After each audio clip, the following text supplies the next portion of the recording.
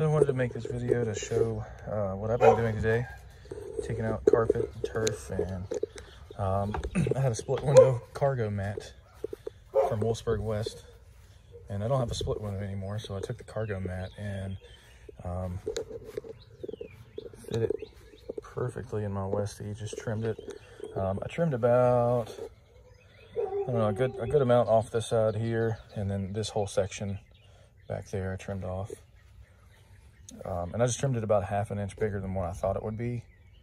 Um, and then took tiny little slivers off of it until it fit perfect. And then the excess, uh, the part that's underneath of here, I took and cut it to fit in the center there. Pretty stoked about how it turned out too.